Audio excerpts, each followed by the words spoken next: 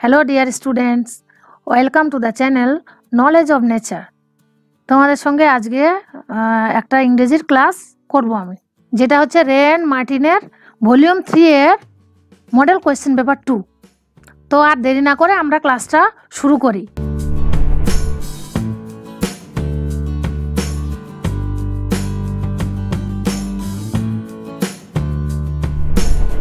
তো চলো শুরু করি। তোমরা নিজে থেকেই সেটা পড়ে নিও। আমি ডিরেক্টলি প্রশ্ন এবং উত্তরে চলে আসছি। তো আমরা প্রথমে দেখো, প্রশ্ন উত্তর পড়বে চলে আসছি। Right the correct alternative to complete the following sentence কি বলেছে এখানে? এ নাম্বার দেখো Gandhiji was shot on his way to তোমরা যদি ফেসেসটা পড়ো, তোমরা নিজেরাও বুঝতে পারবে যে উত্তর কোনটা হবে। এক নাম্বার আছে the Birla house the author's house a prayer meeting a family gathering তোমরা যদি প্যাসেজটা পড়ো, দেখবে দ্বিতীয় লাইনটাতেই রয়েছে। হুম টু এ প্রেয়ার মিটিং তো তাহলে আমাদের এক্স্যাক্ট অ্যান্সার কোনটা হবে? তিন নাম্বার এ প্রেয়ার মিটিং তাই তো? এবার বি নাম্বারে চলে আসো। দ্য ওয়ার্ড ক্লামার্ড মিনস এখানে ক্লামার্ড বলতে কি বোঝানো হয়েছে? তো এটা মনে হয় শেষেরটাই হবে ডিমান্ডেড লাউডলি আমি দাগ দিয়ে টিক দিয়ে দিলাম। ঠিক আছে, এবার সি নাম্বারে চলে আসো। ওয়ান হুইম্পার্স হোয়েন কখন, কেউ কখন হুইম্পার্স করে। One is speechless one is in a rage one is too angry to speak না one is struck with grief এটা হবে, সঠিক উত্তরটা হবে চার নাম্বার।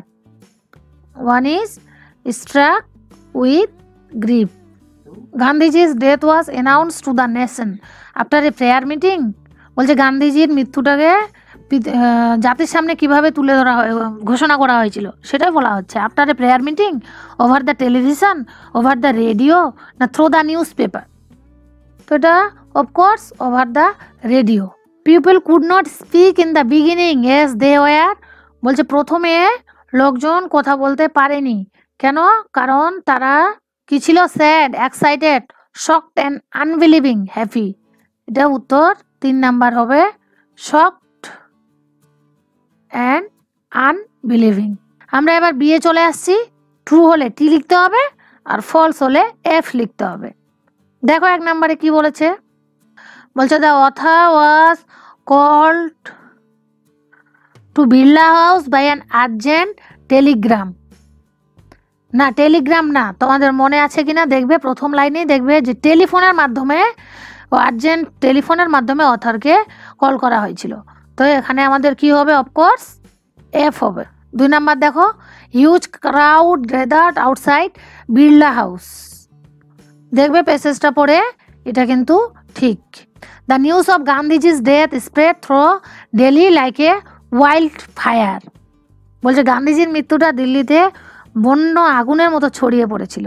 এটাও অ্যাবসুলেটলি ট্রু সেই জন্য আমি কী লিখব এখানে? টি এ বি হয়ে গেল, এবার চলে আসো সি নাম্বারে দেখো সি নাম্বারে কি বলেছে? আনসার দ্য ফলোয়িং কোয়েশ্চেন্স নিচের প্রশ্নগুলোর উত্তর দিতে বলেছে। এক নাম্বারটা দেখো। Name the memoir from which the passing away of Bapu has been extracted উত্তর হবে the passing away of Bapu has been extracted from prison and chocolate cake by Nayantara Sahgal. আচ্ছা এবার দুই নম্বরে চলে আসো। দুই নম্বর প্রশ্নটা কি বলছে? What did the mourning people resemble বলছে এখানে যে শোকাহত মানুষগুলো ছিল, তাদের সঙ্গে কি তুলনা করা হয়েছে? তাদেরকে কাদের সঙ্গে কার সঙ্গে তুলনা করা হয়েছে? এখানে উত্তরটা হবে the mourning people resemble like a lost child দেখো এক নম্বরে কি বলেছে? Right the correct alternative to complete the following sentence A নাম্বারে বলছে লিটিল প্রিক রিফার্স টু এখানে লিটিল প্রিক বলতে কি বোঝানো হয়েছে? The squirrel the mountain a nut না এ ফরেস্ট এখানে অফকোর্স দ্য স্কোয়ারেল ঠিক আছে? এবার বি নাম্বারে চলে আসো। You are doubtless very big the entity refer to here is এখানে কাকে মেনশন করা হয়েছে? The forest the poet the universe না দ্য মাউন্টেন অবভিয়াসলি এখানে উত্তরটা হবে দ্য মাউন্টেন সি নাম্বারটা দেখো the poem fable is written by তোমরা নিশ্চয়ই কবিতাটা পড়েছো এবং ভালোভাবে জানো যে কে লিখেছে। কি হবে? Ralph Waldo Emerson the word spry means talented full of life and energy proud huge এখানে উত্তর হবে full of life and energy B নাম্বারে চলে আসো। Complete the following sentence with information from the text text থেকে information নিয়ে এটা পূরণ করতে হবে, শূন্য স্থানটা। এক নাম্বারে কি বলেছে দেখো? It is not a disgrace to the squirrel to কী হবে? টু বি স্মল তাই না? The poem fable imparts the lesson of এখানে ফেভেল কবিতাটা কি আমাদের লেসন দিচ্ছে? লেসনটা হচ্ছে যে নোট টু জাজ আদার্স ইনফেরিয়র ঠিক আছে, আমাদের সিন পোর্শনটা শেষ হয়ে গেল। এবার আনসিন দেখো। দেখো এই নাম্বারে কি বলেছে? Tick the right answer Lata Mangeshkar set up a hospital in memory of her father her mother her uncle her grandfather প্যাসেজটা পড়লে দেখতে পাবে যে লতা মঙ্গেশকর তার বাবার স্মরণেই হসপিটালটা করেছিল। তো আমি এক নাম্বারটা উত্তর করে দিলাম। দুই নাম্বার চলে আসো। Lata Mangeshkar is a recipient of the Bharat Ratna the Padma Bhushan the Padma Vibhushan the Arjuna award উত্তরটা হবে ভারত রত্ন তিন নম্বর দেখো Indo China war took place in nineteen sixty one nineteen sixty two nineteen sixty three or nineteen sixty four সঠিক উত্তরটা হবে nineteen sixty two চার নম্বর দেখো the hospital was set up in Mumbai Hyderabad Pune or Bangalore সঠিক উত্তরটা হবে Pune. The hospital will treat the percent of patient free of cost উত্তর হবে ফিফটি থার্টি টোয়েন্টি উত্তর হবে থার্টি পাঁচ ছয় নম্বর দেখো। The name of Lata Mangeshkar father is Devnath Mangeshkar Devendra Mangeshkar, Dinanath Mangeshkar, Devesh Mangeshkar. উত্তর হবে সি নাম্বার। দীনানাথ মঙ্গেশকর। এবার বি নাম্বার দেখো। Each of the following each of the following sentence is I the true or false write T for true and F for false in the box on right handed side also pick out suitable lines or phrases from the passage in support eve your answer শুধু true অথবা false লিখলে হবে না। এখানে supporting সেন্টেন্সটাও আমাদের mention করতে হবে। এক নম্বর দেখো Dinanath hospital and research centre consist of four fifty beds কী হবে এটা? আনসিনে কিন্তু তাই রয়েছে। তাহলে এটা ট্রু হবে। তার সঙ্গে আনসিনে যেই লাইনটা দেওয়া আছে সেটা আমাদের অবশ্যই তুলে ধরতে হবে। তাহলেই সেটা সাপোর্ট করা হবে। The nation become a fan of her voice with the song Ae Mere Watan Ke Logo এটা ঠিক আছে সেজন্য টি লিখলাম। আর সাপোর্টিং সেন্টেন্সটা হবে সেটা আমি আনসিনের টেক্সট থেকেই তুলে দিচ্ছি। Her song, A Merry Watan Ki Logo, made an entire nation a fan of her voice. এটা কিন্তু আনসিনের ফেসেসটাতে রয়েছে সেই লাইনটাই আমি তুলে দিলাম। তিন নাম্বার দেখো। Ancient India was not very rich in diverse fields of education এটা কিন্তু ভুল হবে ফলস আমি এফ লিখে দিচ্ছি। এখানে রয়েছে ancient India was a knowledge society and a leader in many intellectual pursuit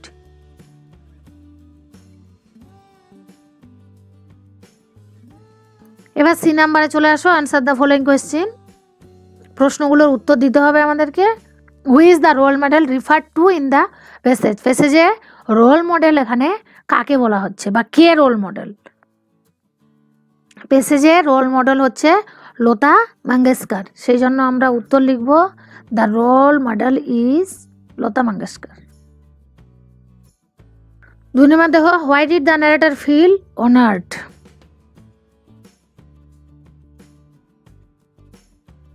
তিন নম্বর প্রশ্ন দেখো who get the hospital built and where the hospital built the narrator in Pune চার নম্বরে চলে আসো what does the narrator say about the about the role model in the passage এখানে লেখক বা ন্যারেটার রোল মডেল সম্পর্কে কি বলেছেন এই প্যাসেজে the narrator it that she had not lost sight of the fact that one needs to do all one can do help to relieve the suffering of others.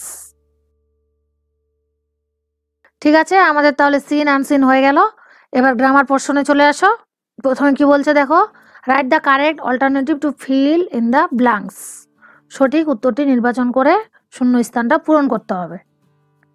বলছে the prime minister Narendra Modi has inaugurated inaugurated will inaugurate Sikkim's first ever airport at Pakyong G has inaugurated Sikkim was the only state in India that এটা দেখো কী হবে remains remained remaining এটা হবে remained কেন remained হলো? দেখো past টেন্সে আছে। তারপর দেখো দ্য এয়ারপোর্ট কি হবে এটা? স্প্রেডস হবে। এটা হবে two hundred one acres and is constructed by airports authority of India next চলে আসো do as directed fill in the blanks with appropriate articles and prepositions. What is the the most dreadful menace facing india today is rise of communalism we should all fight against it mean আমার দেখো rewrite the following sentence according to the instruction given in the brackets why did the they refuse your admission change the voice এটা কী করতে হবে? Voice change করতে হবে। তাহলে কী হবে? হোয়াই যেহেতু পাস্ট টেন্সে আছে was your admission refused auxiliary verb আগেই দিয়ে দিয়েছি, সেই জন্য এখানে direct verb refused by they থাকলে কি হয়? দেম এবং অবশ্যই প্রশ্নবোধক চিহ্নটা রেখে দিতে হবে। কিন্তু এটা যদি ন্যারেশন হতো, তাহলে কিন্তু প্রশ্নবোধক চিহ্ন আর রাখতাম না। আচ্ছা দু নম্বরটা দেখো।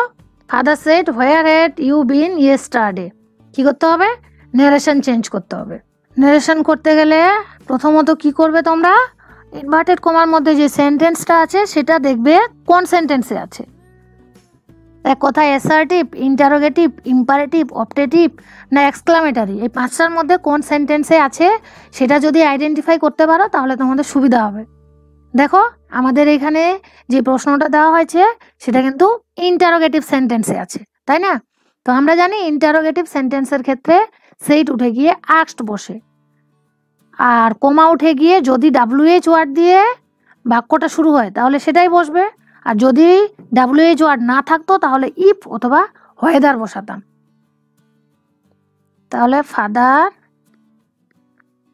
আক্সড where had you been yesterday তাহলে where I had been the yesterday থাকলে previous day.